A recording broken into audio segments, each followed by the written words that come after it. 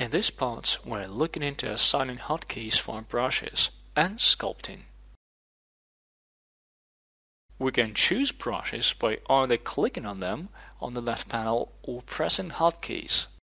S for smooth, X for draw, Shift C for crease, G for grab. But what about other ones? Well, we have to assign shortcuts for them.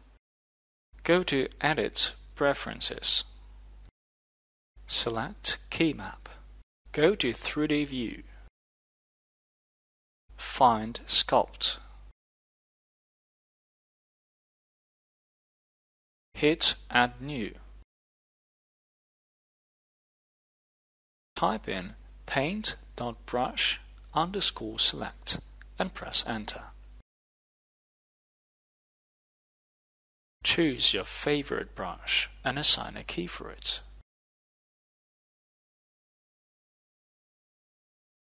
You can change the brush size by hitting F and moving your mouse or stylus. With Shift F, you can adjust the hardness.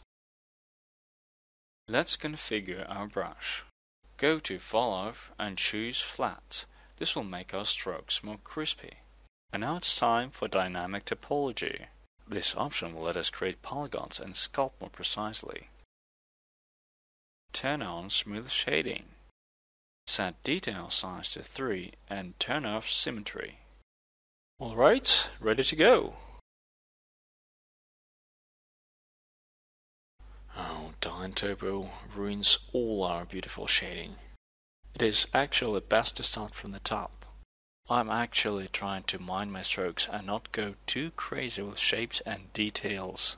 You can also smooth with any brush by holding shift. It is really important to preserve the overall smooth rounded shape, including most of the sharp and untouched edges, in order to create a rhythm of details and associate the outlook with the past and present of the object. I'm not trying to copy the reference entirely, but just follow the general idea. Although it is ancient, it shouldn't look like destroyed all the place, but there have to be some points of interest which give it some story. Alright, now it's time to sculpt some cracks. I find crease brush most suitable for this purpose.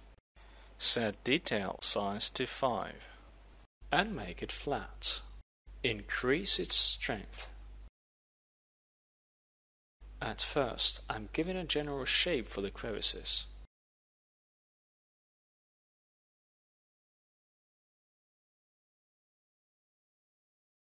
And then I'm making them deeper.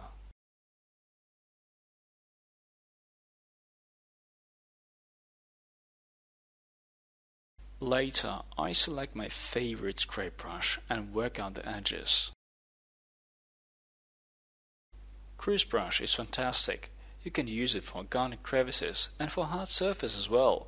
The only difference, I guess, is that for hard surface, you should keep sharper edges, especially for stone or concrete materials.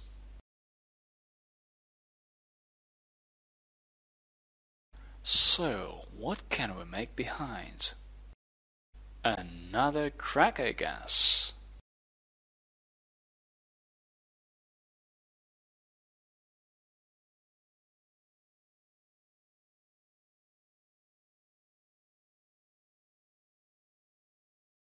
guess. Alright, now look at this marvelous mess. It is barely possible to go on sculpting. It is over 400,000 vertices. So, how can we fix that?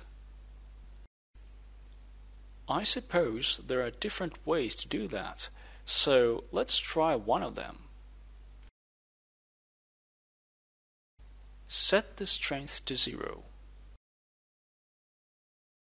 Activate Dyntopo. Switch detail into constant detail and set resolution to something like 20. Now we can clean our mesh, reducing unnecessary details.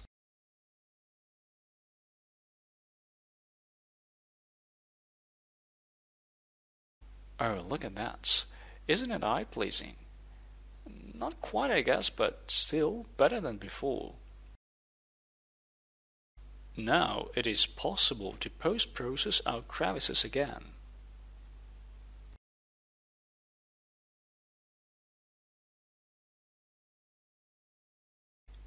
And now we're ready for adjusting our low poly for the high poly. And speaking of UV maps,